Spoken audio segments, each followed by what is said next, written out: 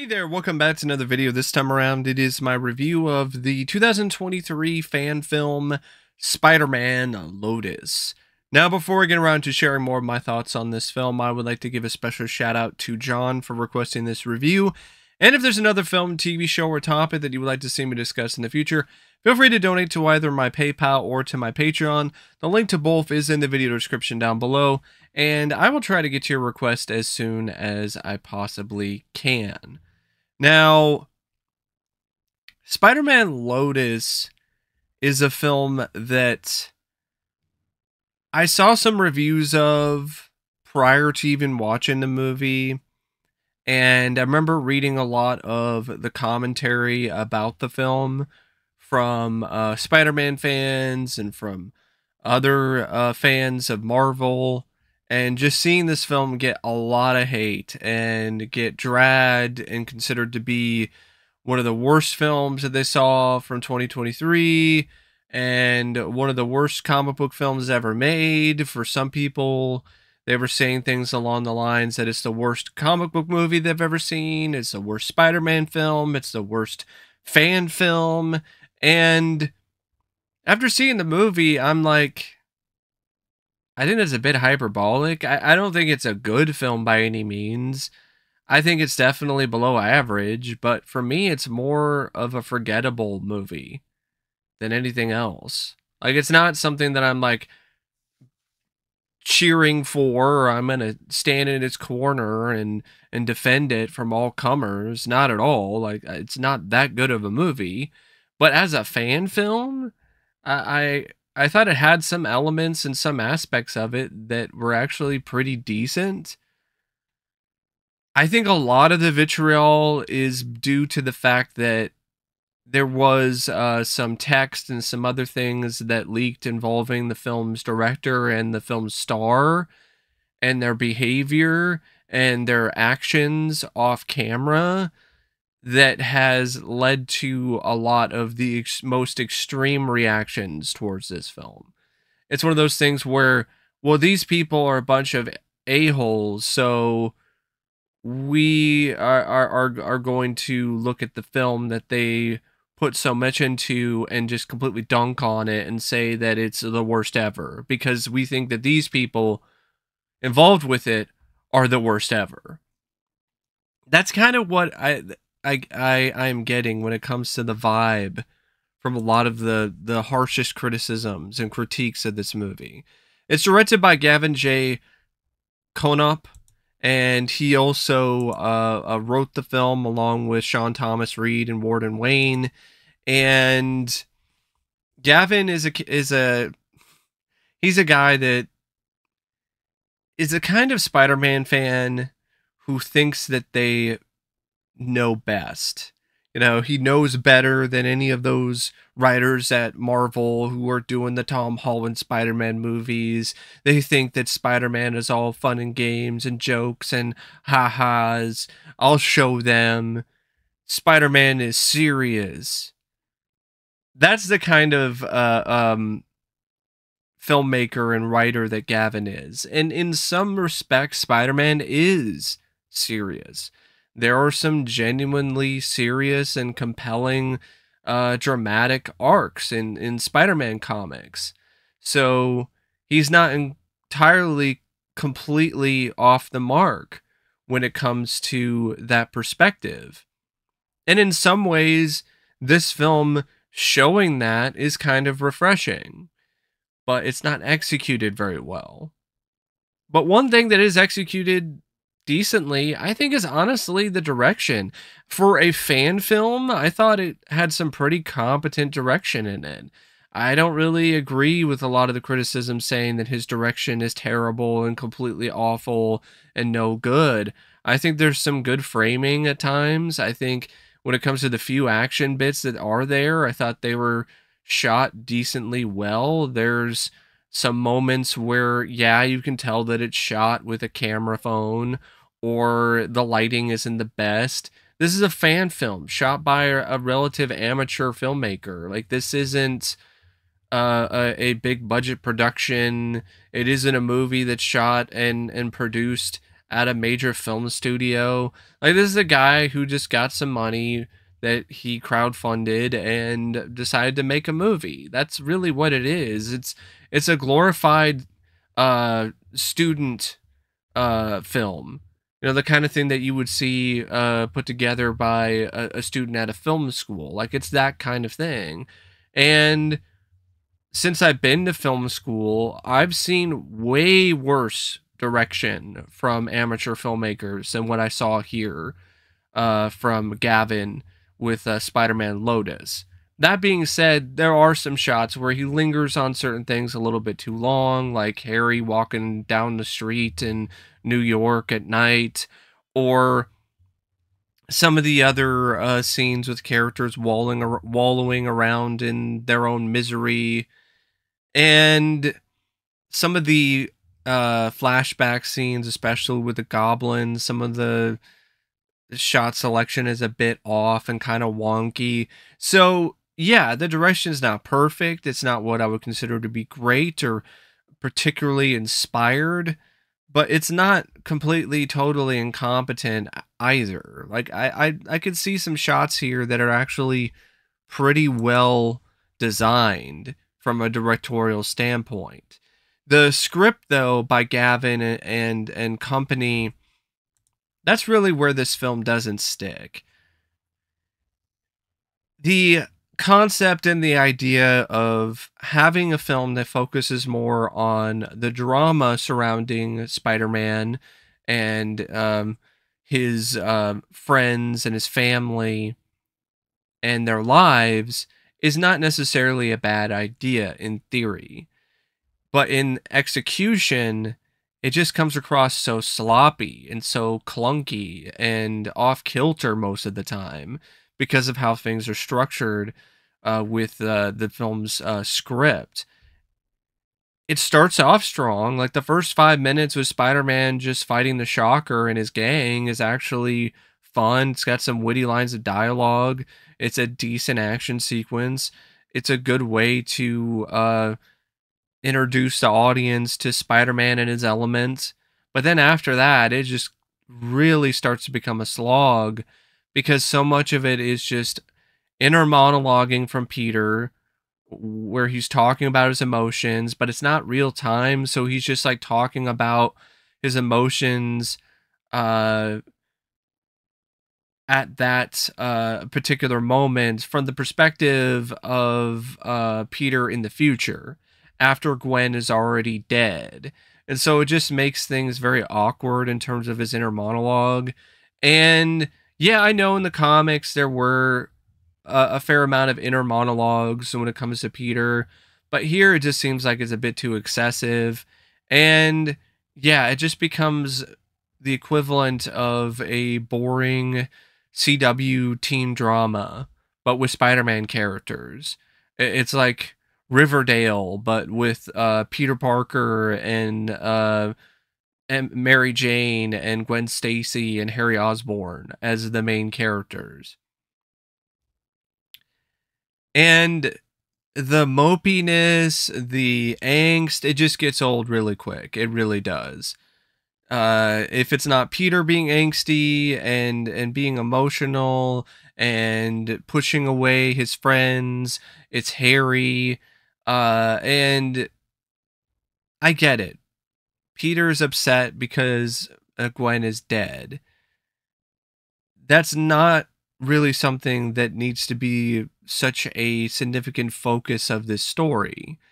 It's fine to discuss that. It's fine to uh, put a spotlight on that, but it doesn't need to be like the main crux of the story because that's really what it feels like. The main crux of Spider Man Lotus is just Peter feeling sad about Gwen Stacy, and that's that's really about it.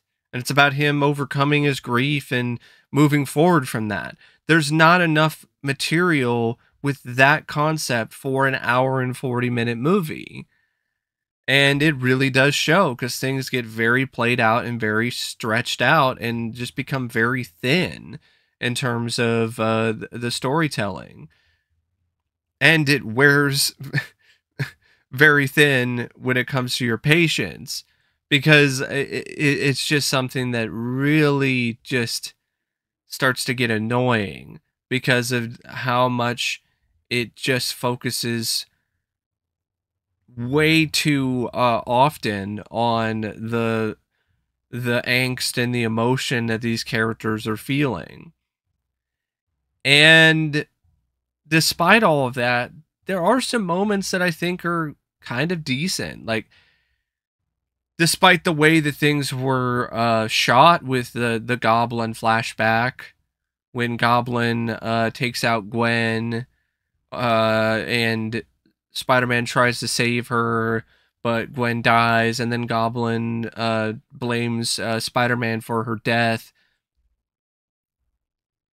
If it wasn't for the kind of laughable looking Goblin uh, costume and the fact that the audio doesn't match uh, the lips that are moving, um, that might be a pretty decent scene because the dialogue in that scene isn't really that bad from Goblin and just the idea of Peter getting fed up and just beating the ever loving crap out of the goblin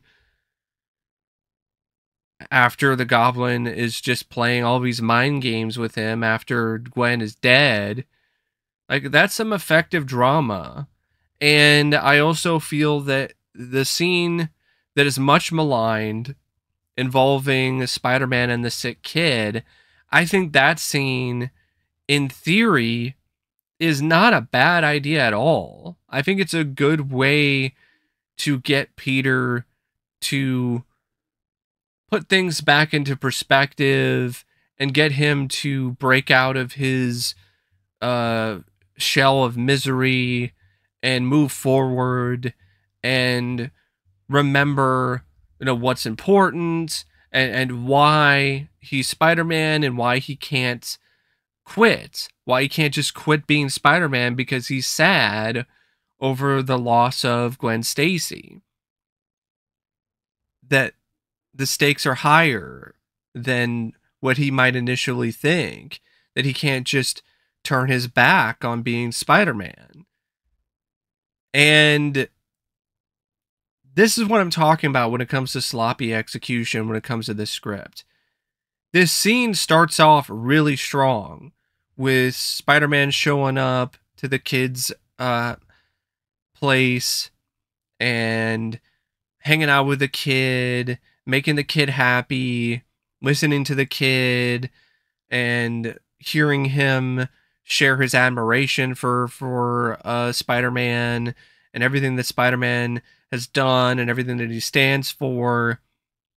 And th- there's some really good moments of genuine heart in that scene at least at the beginning of it but then when he starts to trauma dump on the kid and he says he's not a hero and that he killed the girl and he's to blame for the death of Gwen and walks out on the kid, it's over dramatic and it just comes across like things went from 0 to 100 and I get that people who are dealing with trauma, that kind of is how things actually happen.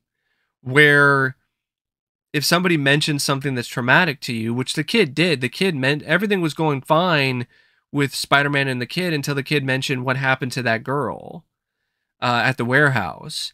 And then that just dredged up all these memories and all these feelings and emotions that Peter was dealing with. And then he just uh, unleashed them upon this kid.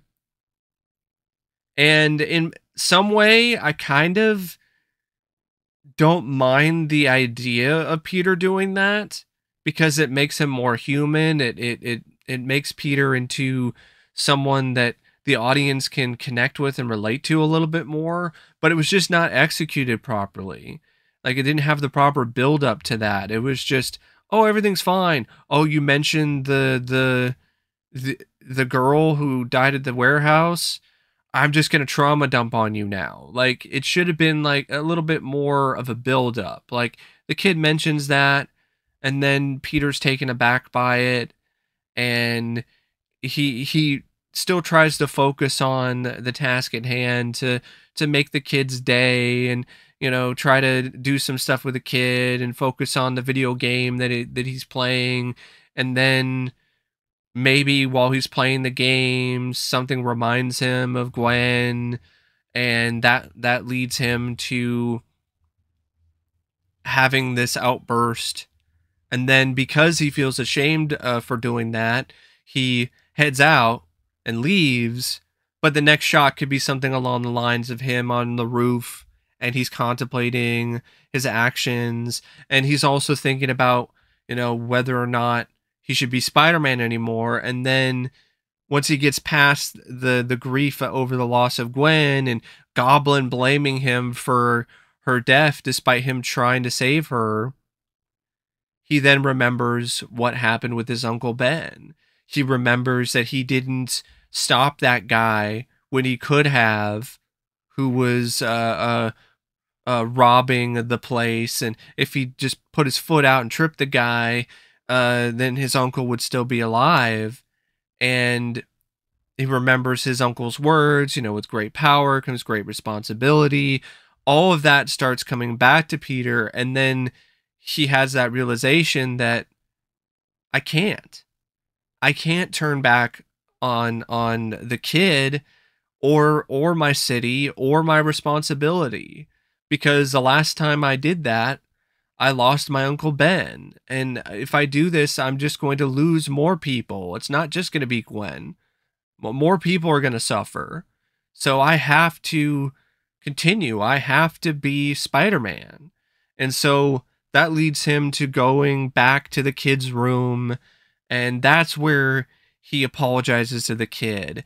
And he looks at the scrapbook and he does all of that and says, you know, I'll be in the neighborhood and says to the kid, you know, I, I'll I will be there for you. If you need me, just give me a call.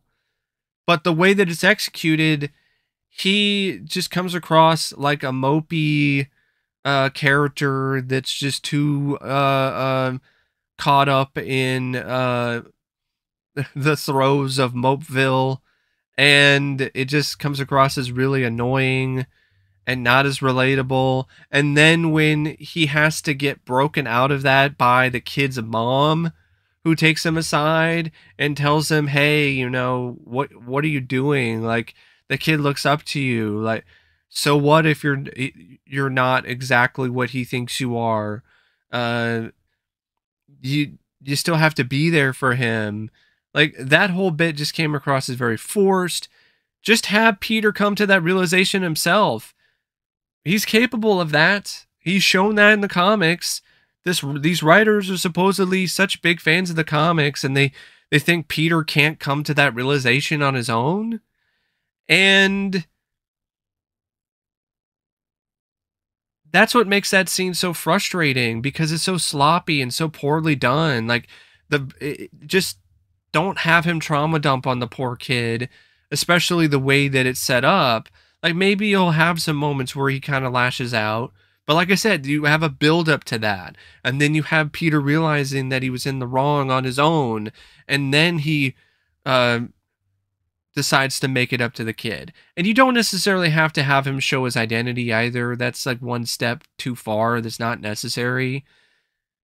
And you also don't need to have a scene directly after where Spider Man's at the grave of Gwen Stacy and he's talking about uh, uh, Gwen's death, and he's talking about the kid, and he's talking about how it's inspired him to continue to to to to be Spider-Man and and and to continue uh, this path in life, and then show the kid's gravestone. It's like that's just that's off too. Like you didn't need to do that either.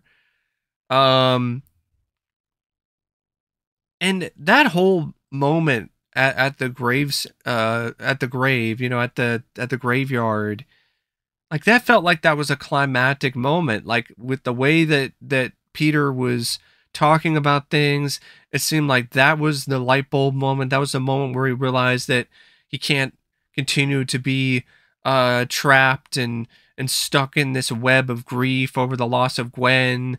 Uh, he has to move on and it seems like okay that's a good end point but then the movie just continues on for like 20 more minutes and that's just an example of just how sloppy this script is again.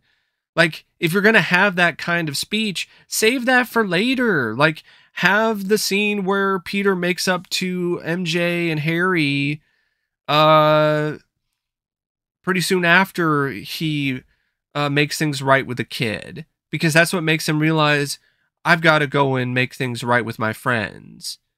Uh, and he does that. And then you have the the speech about Gwen and her death and how much he's gonna miss her, but he's got to keep on going and talks about uh, uh Tim and then goes on and and decides I'm still gonna be Spider Man, and then you get like the scene where he goes to uh, uh, the party for Flash Thompson, but instead of him like standing outside the the the window of the venue and just looking at everybody and then deciding to dip because he hears some sirens, he actually goes in and and says hi and and spends a little bit of time, but then the the the sirens get louder. He sees more cop cars go by and maybe here's an explode you hear an explosion and then he's like oh i'm so sorry like i've got to go. Uh, i just got a call from the bugle. Something is going on right now. I got to be there to to take photos. Uh, good luck flash. Uh, and i hope you make it home safe. You know something like that. But instead he just dips he just ducks everybody and just goes goes to uh um take care of whatever it is that's happening. Like that just made Peter look like an asshole. So like it did it made him look like he didn't really learn uh, much of anything. So like that that's just a bad bit of writing. And there's a lot of that. There's this stuff with Harry being depressed and sad and crying and whatever. Like we don't need any of that. It, it's almost to the point where it's like the writers of this film were the same people who write emo posts on Tumblr. Like that's really the kind of vibe that I got from this script. And it's not it was never really necessary most of the time and it didn't really add a whole lot to the movie except just make it more irritating and a hell of a lot longer than it needed to be. And yeah, like I said, things are just jumbled by the end. You have the stuff with uh, the kid, the sick kid, and then the the scene at the graveyard, and then Peter uh, talking about his thoughts about Gwen yet again, but this time to a tape recorder, and then MJ shows up and he apologizes to her, and they make up, and then uh, he goes to the party, and then it's like, oh wait, no, I can't. Something's going down. I gotta be Spider Man and then and, and then it just ends like it doesn't even really seem like it ends at a good point it just stops. So it's not satisfying in that regard either. And there's pieces there where you can make it a satisfying ending. Like I said, move the, the graveyard scene closer to the end. Uh, and maybe move the shocker scene later. Maybe move that to the climax. And maybe have more moments with Goblin and Gwen earlier on. Like, honestly, this whole story should have been like 45 minutes tops. And here's how I would have done it I would have started out the film with uh, Peter, Gwen, MJ, and Harry spending time together one night, having a good time, establishing that they're really close friends. None of the monologue is not needed. And then you have the scene where Peter, he's gonna propose to Gwen, but then Goblin shows up on his glider and grabs Gwen and, and takes her away. And then uh, right imme- immediately at that moment, you are just thrown into the action. And and and there's already tension because now Gwen is taken away and you know Peter's feelings for her because he was going to propose to her, but now Goblin is just screwing that all up. And so then he chases after Goblin and finds him at the warehouse, the same warehouse that his uncle Ben, uh, uh, well, not really his uncle Ben died at, but the same warehouse where he tracked down the guy who killed his uncle Ben, and maybe have a bit of a flashback where he sees the warehouse and then he's like, wait a second, this this is where I I I I, I got revenge for my uncle Ben's uh, death. This is where I truly started to become Spider-Man. What is going on here? And then he goes into the warehouse and Goblin is taunting him and then Goblin heads up to the to uh you know the the roof or he flies his glider up over uh, the roof, you know, up high in the sky. He's got Gwen in one hand, and Spider Man is up there, and he's trying to tell Goblin to put her down, and Goblin lets her go. And then Spider Man tries to save her, and then you have the thing where he's too late, and she she dies. And then Goblin continues to just torment Spider Man and then tells him that he's to blame for her death and just twists the knife even further. And then that weakens Spider-Man. It makes him distracted, and so Goblin takes advantage of that and throws a bunch of pumpkin bombs at him and just beats the crap out of Spidey. And looks like Spidey's a goner, but then Goblin just cannot stop messing with Spider-Man. He cannot stop messing with Peter. He keeps blaming him solely for the death of Gwen, and that just completely uh just sets Peter off. And then he just essentially hulks up and just kicks everyone crap out of Goblin in satisfying fashion. Just punches him like just repeatedly. You know, like when uh, Rocky beat the crap out of Clubber Lang in the in the rematch at the end of Rocky 3. Just just boom, boom, boom, boom.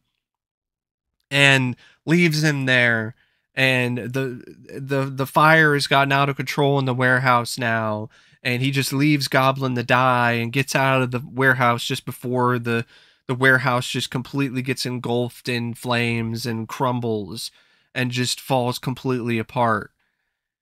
And after that scene, you transition to uh, uh, Peter and, and his friends mourning Gwen, mourning her death, going to the funeral, those kind of things. And then you have like a series of sequences of Peter dealing with Gwen's death, dealing with uh, those memories of being with Gwen, finding the old photos and the old videos, and and being sad and having moments where he's pushing his friends away from him because he's in a bad spot because of Gwen's death. He's so wrapped up in this, he's decided to stop being Spider-Man because he doesn't want to hurt anyone else.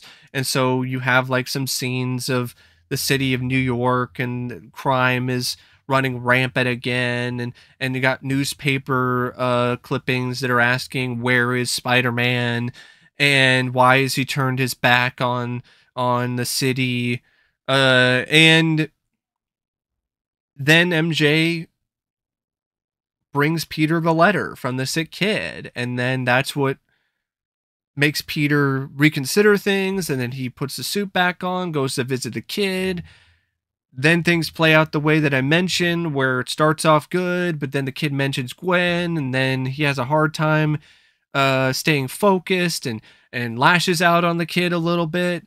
But then after he thinks about it some more, he he realizes that was wrong I need to make it up to the kid, and I also need to make it up to my city. I can't turn my back on my city. I can't turn my back on my friends. I have to be Spider Man.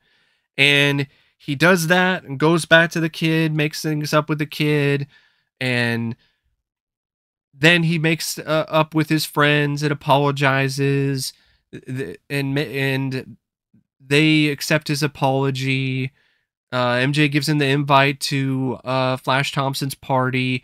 He goes to Flash Thompson's party, but then things start to go down uh, outside, and then he suits up again. And then maybe that's where you have the Shocker confrontation. That's where the Shocker fight happens. And then the last scene in the film is Spider Man swinging towards the camera, doing his web slinging, doing the acrobatics with with a, a monologue uh, where he's talking about you know I, I miss Gwen and she'll always be in my heart, but with great power comes great responsibility, and it's my responsibility to my friends and to my family and to my city to be there to to to always be the amazing Spider-Man. Like something like that. Like that that's a good way to end things and it's not dragged out with people being mopey and overly emotional and angsty and to the point where it's absolute cringe. So that's that's how I would have handled it. I think this film would have played out a lot better if it was something along those lines instead of this overlong vanity project. Now, I also want to mention that for a fan film that I think only costs like a over a hundred thousand dollars, I think there are some pretty decent production values when it comes to the scenes with Spider-Man. There is a some moments of the CGI, especially early on, where it looks a little like PS3, PS2 kind of level in terms of the graphics. But I'm willing to give it a, a pass because it is a fan film. And despite that, there are some moments in this movie when it comes to the visual effects that look like something on par with what you would have seen in a Disney Marvel Spider-Man movie. And I want to give the the effects artists and the people who worked on the film in that regard credit for that. I also think it's got some good costume design. I think the costume that Spider Man wears in this looks pretty good and has a good look to it. And yeah, I, I think from an aesthetic standpoint, when it comes to the visuals, like this is not that bad of a film when you're just looking at it from that perspective. Uh, the goblin costume that's a little bit off, but goblins are always a character that's kind of hard to really nail in live action because of just how it's a guy wearing a goblin mask. So I'm not going to be super hard on the film for that, but yeah, I think I do. I think it's got some pretty decent production values overall. Now, moving on to other aspects of the film, the cast I get why people are hard on them, but I think for a lot of amateur actors and actresses, the performances weren't completely awful. Like Warden Wayne as Peter, the guy's kind of a dick in real life. But the performance I didn't think was that terrible. Like honestly, I thought it was okay, but I think he imitated Tom Cruise way too much. Like you're not Tom Cruise. Find your own acting style, man. Uh Sean Thomas Reid, I thought he was one of the weaker performers as Harry Osborn. Pretty bad performance, especially when he was trying to be angsty and emotional. Uh, Moriah Brooklyn as Mary Jane. I thought she was actually pretty good. I thought it was actually a pretty authentic performance. I, I honestly even think she did a better job than Kirsten Dunst in the actual Sony Spider-Man films with Tobey Maguire. Uh, Tuyen Powell as Gwen Stacy. I also thought she was pretty good. Um, Maxwell Fox Andrews as Tim. I thought he did a great job. Uh, even Jack Wooten as Flash Thompson. I thought he he did a, a solid job too when it comes to like the few scenes that he was in. So when it comes to like amateur performers, like yeah, it's not Oscar worthy, but I didn't think it was completely garbage either. But that's just me. Uh, and the cinematography by Tristan Lawrence and the editing by Gavin, who also edited the film. Cinematography at times is actually pretty nice, especially when it comes to some of the shots of the city. Uh, the editing, though, at times the transitions are really good, but then there's other times where it's just a little too overly ambitious and showy, and it, it just makes things kind of a little bit silly. Um, but I do appreciate the thought process behind some of the edits.